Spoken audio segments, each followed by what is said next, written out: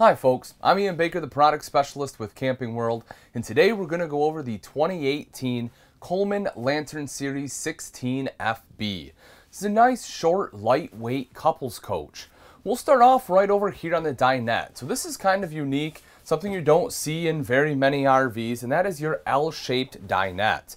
The nice thing about this is it gives you a little more seating, almost uh, like the full U-shaped, but they're able to fit it in a much smaller RV like this one we're in. A couple cool features here. There is a table that you can pop up. That's actually stored in the back. I'll show you that a little bit later. Cool thing about that table too though is as you can see you don't have to have it here so it is nice and open and you can also take that table outside. If you want to form this into a sleeping area you can do that too. Simply pull this out just like so. This cushion will come over. This one, you can see it's velcroed up, which is nice. We just take that off the wall, flop it down, and that creates your secondary sleeping area. Now, granted, it's not huge, but if an adult wants to curl up, or if you have smaller kids, again, that does create a nice bed. Another thing I like about this is the fact that it is on your campsite. So that way when you're sitting here, you can look out the window there and see your campsite, not stare off at your neighbors. We take a look up top. You see you have some storage up above, which is nice. Great place for board games, or maybe you want to put some place settings up there, cups, things like that. Right here is your media receiver. And this unit controls the speakers here inside. It is a radio, and it's also Bluetooth capable. We take a look in the back here, this is your TV setup. So you'll notice a couple things. One of them, you have a King Jack antenna on here. This antenna is nice. Instead of having to crank it up and, uh, you know, remembering to crank it back down before you leave so it doesn't break and fly off, this is a nice low profile antenna and all you have to do is turn it to find the best reception. Right along the back here is where your TV will be mounted. They did put a backer in the wall, so and they put a sticker there so you know exactly where to mount it. And then the corresponding connections are right up top. So in the back here, you have the mirrored doors. Right here is your table. You'll see the straps there so you can strap it in so it's not flopping around during travel. But what you'll also notice is right up top here, you actually have three. There's one behind this table, another one over here, but three different coat hooks. That way you have a place in which you can hang your jackets up. You know, come in, toss your shoes in the bottom, hang your coats up. In a small RV like this, that's great, folks. That way it's not, you know, taking up all this entryway space. In the rear corner is the bathroom. You see right down here the foot flush lever toilet. Up above that you have a mirror. And then over to this side is your shower with a hand wand. That way it is nice and easy to shower up. You take a look up top, you see the skylight there as well as a LED light and a vent to help dry everything out. And then as we move up a little bit further, go into the kitchen area. You see you have a nice big pantry in here. This is something you often don't get on a smaller RV like this, so I like the fact they included it.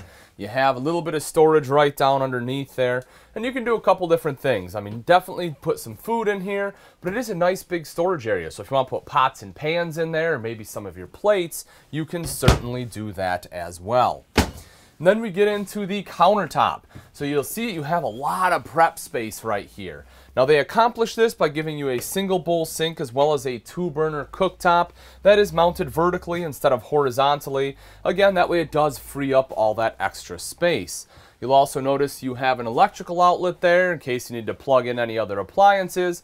And your tank monitoring panel is here too. That is something that you want to know uh, where that's at. That way you can monitor your tanks as well as your battery levels if you're not plugged into shore power. Right up top, you have a fully functional hood with a light and fan, microwave off to the side, and then this additional storage area right up top here. We take a look down below. You have a drawer, which is a necessity. You know, you have to have at least one. Uh, I, I like to have two just so have a place for some of your bigger utensils. But, you know, you can put some bins and stuff in the pantry, make other things happen. But at least you have a main one here for your silverware. Furnace is right underneath that. Direct vent furnace is all you need. And then your fuse box underneath that yet. And then right over here you have some more storage. So again, as I said, if you want to put like a, you know, a little tote or something in here with some extra uh, you know, your spatulas, knives, things like that, you can do that or use that for smaller pots and pans, plates, whatever you need to. Cut out here is great for some of your smaller spices. And then right over here, you have your fridge with your drop-down freezer compartment. You'll see right here, the controls are there for you, nice and easy to use. Then as we take a look up front, this is the queen bed here. You have storage underneath You can see that right there. Now it is a little bit shorter than your standard queen. It's what they call an RV queen. That way you have room to walk around here. Otherwise, you wouldn't be able to get past the dinette and they certainly don't want that. A couple things that I do like, you have windows on both sides as well as electrical outlets on both sides. So if you have to charge cell phones or tablets or plug in like a CPAP machine, you can do that on either side of the bed. You also see right here, you have mirrored wardrobe. You have a hanging rod going across on both sides. You have a place to hang your clothes shelf up top there so you can put some clothes up there too. And then additional storage going right across the top here with LED reading light underneath. Now that we've seen the inside, let's take a quick look at some of the outside features on the Coleman 16 FB. Starting right up front here, you have the 20 pound propane tank. Right behind that are rails for your battery. And coming up the front right here, you kind of have this uh, etched uh, plating on the front there, which helps protect the front end from some of the rocks and debris that may get kicked up by your tow vehicle. One of the things I love about Coleman though, folks, is this right here.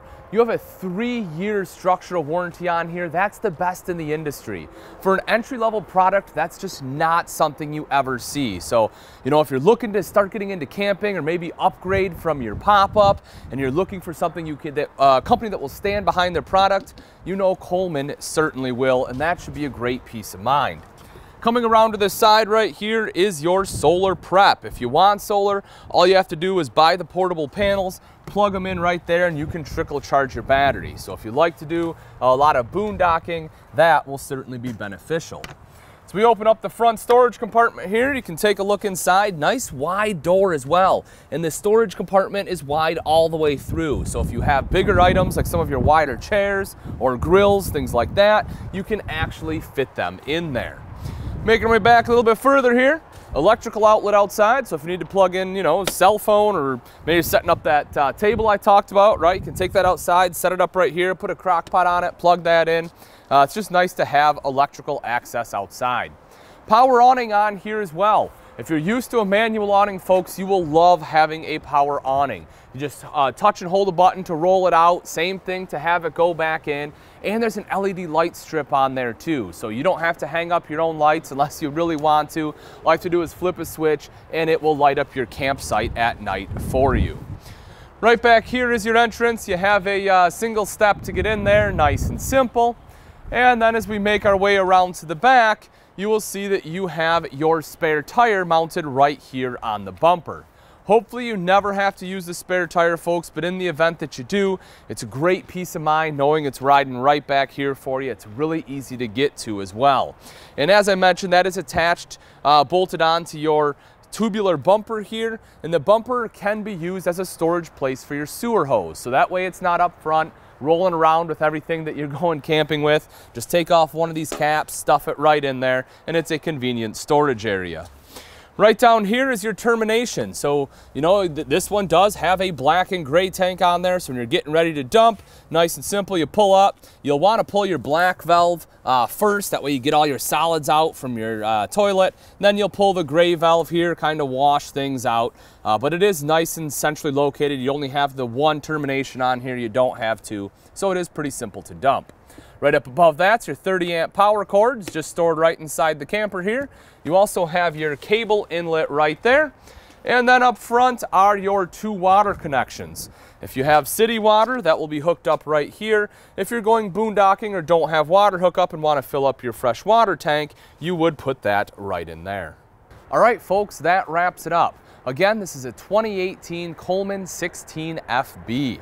If you're interested in this RV and you'd like price and availability, simply click on the link in the description below. Thanks again for watching. I'm Ian Baker, and let's go camping.